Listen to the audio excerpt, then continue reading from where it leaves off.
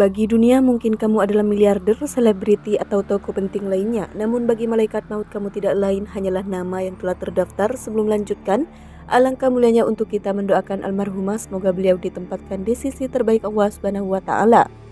Dan semoga keluarganya diberikan ketabahan dan keikhlasan. Amin ya robbal alamin.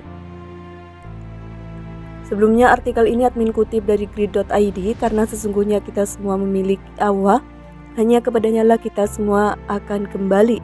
Kematian adalah merupakan rahasia Tuhan yang Maha Esa, kita semua tidak ada yang tahu kapan akan terjadi.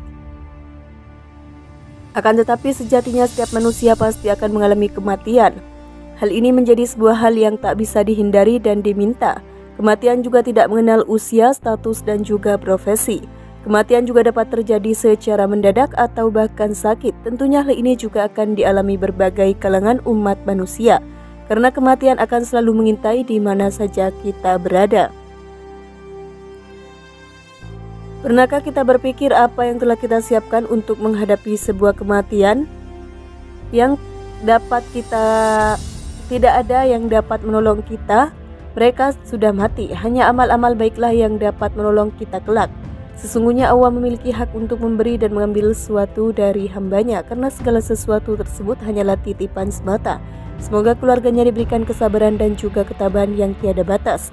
Atas kepergian almarhum, innalillahi wa inna ilaihi roji'un, kabar duka datang dari dunia hiburan tanah air. Pedangdut cantik meninggal dunia dalam kondisi hamil. Wanita bernama asli Seni Mariani ini merupakan penyanyi jebolan kondangin Kondaning merupakan salah satu ajang pencarian bakat di Indosiar sebelum Dangdut Akademi. Seni Mariani juga menghembuskan nafas terakhirnya mengalami kematian mendadak akibat penyakit jantung yang ia derita. Namun ada pula yang mengatakan jika Seni mengidap penyakit kuning sejak lama. Ia merupakan salah satu lulusan kondangin yang cukup dikenal dan sukses diketahui ini adalah penyanyi yang berasal dari Bandung, Jawa Barat. Saat mengikuti ajang kondangin, ia berhasil menembus posisi lima besar peserta namun sayang kabar duka justru datang dari dirinya.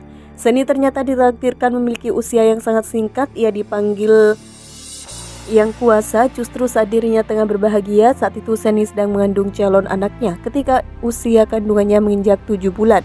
Semoga almarhumah Seni Kondangin diberikan tempat terindah di sisi Allah Subhanahu wa taala dan semoga keluarga yang ditinggalkan diberikan ketabahan dan kekuatan. Amin ya rabbal alamin.